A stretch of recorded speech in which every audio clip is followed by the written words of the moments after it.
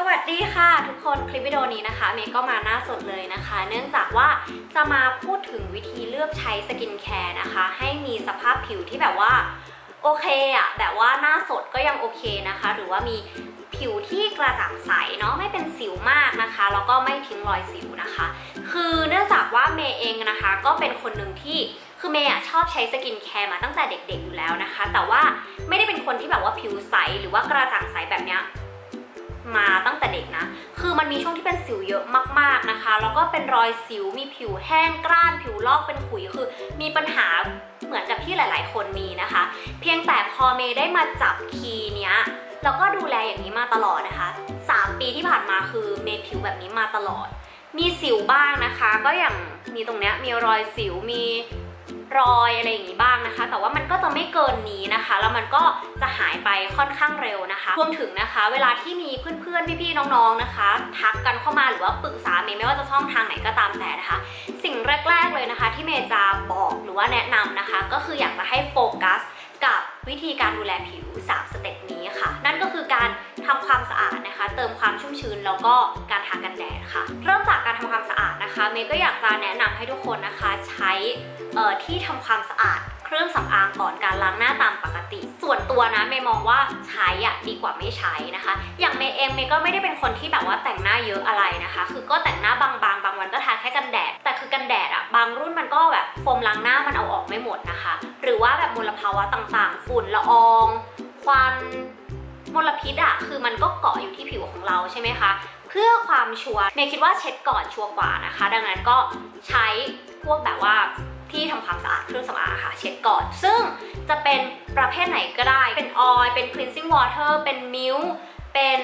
ทิชชู่นะคะ จะเป็นแบบไหนก็ได้ เลือกให้เหมาะกับสภาพผิวของตัวเองนะคะ อย่างของเมย์เมย์ก็จะสังเกตว่าเฮ้ยมีช่วงหนึ่งเมย์ชอบใช้ cleansing oil มากๆนะคะ แต่ว่าใช้แล้วมันก็สิวไม่หายสักที อยู่ดีๆ ก็เกิดนึกขึ้นมาได้ว่า เฮ้ยหรือมันเป็นเพราะว่าเราล้างออยไม่สะอาด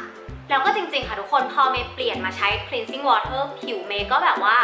ลดการเป็นสิวลงไปเยอะมากๆนะคะ ซึ่งอันนี้บอกก่อนนะว่าเมย์ไม่ได้โทษว่า cleansing oil ไม่ดี แต่เมย์โทษตัวเองว่าเออนิสัยของเมย์อะค่ะ เมย์ดูแลหรือว่าเมย์จัดการกับ cleansing oil ไม่สะอาด อาจจะเกิดการอุดตัน หรือว่าตกค้างอยู่นะคะ ก็เลยเป็นไลฟ์สไตล์ของเราเองที่ไม่เหมาะกับ cleansing oil นะคะ หลังจากที่เรา เช็ดเครื่องสำอางอะไรเสร็จเรียบร้อยแล้วนะคะ ก็ต้องมีการล้างหรือว่าแบบใช้เจลใช้โฟมนะคะ อันนี้ก็สำคัญนั่นก็คืออยากให้เพื่อนๆนะคะ เลือกเจลล้างหน้าหรือว่าโฟมล้างหน้าที่อ่อนโยน คือเน้นทำความสะอาดแบบพวกคราบสิ่งสกปรกที่มันตกค้างหลังจากที่เรา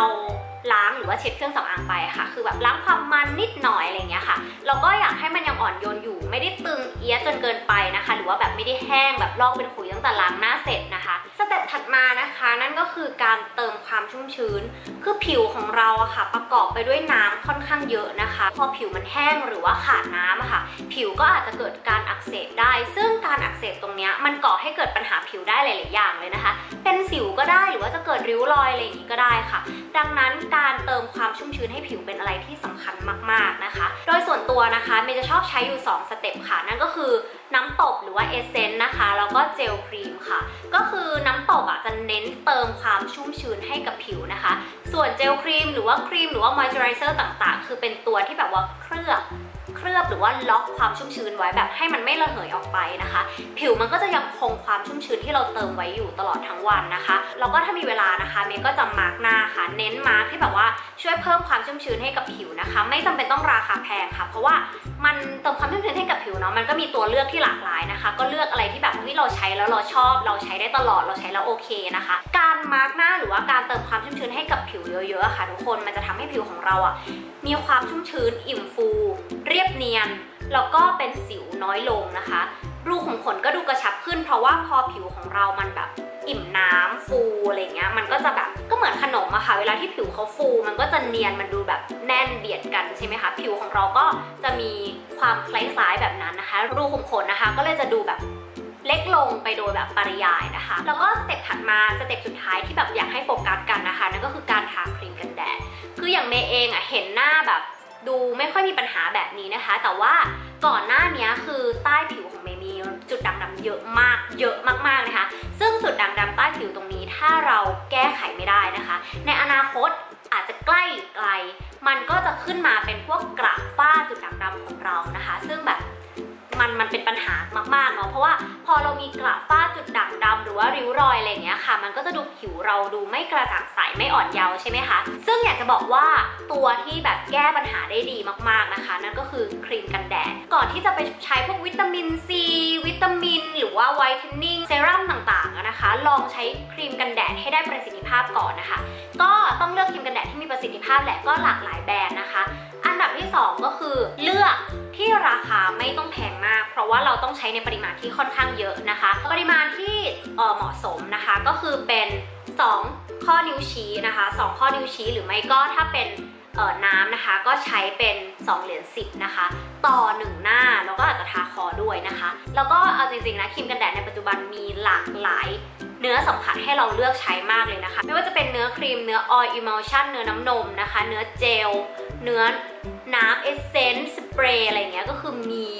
มากๆนะคะ คืออยากสนับสนุนให้ทุกคนใช้กันแดดนะคะ เพราะว่าการป้องกันแสงแดดอะเป็นอะไรที่แบบสำคัญมากๆ เพราะว่าต่อให้เราบำรุงดีแค่ไหนนะคะ แต่เราไม่ป้องกันแสงแดดอะแสงแดดมันก็จะทำร้ายผิวของเราอยู่ดีนะคะ ไม่ว่าจะเป็นปัญหากระฝ้าสิวจุดด่างดำความหมองคล้ำนะคะ ความหย่อนคล้อย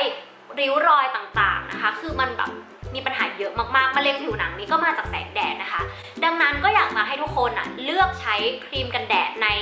บัตเจ็ตที่เหมาะกับตัวเองนะคะ ในเนื้อสัมผัสที่เหมาะกับตัวเอง แล้วก็ใช้ปริมาณที่แบบว่าเหมาะสมเพียงพอเยอะพอด้วยนะ นอกจากการทำความสะอาดเติมความชุ่มชื้นแล้วก็กันแดดแล้วนะคะ อยากจะแนะนำให้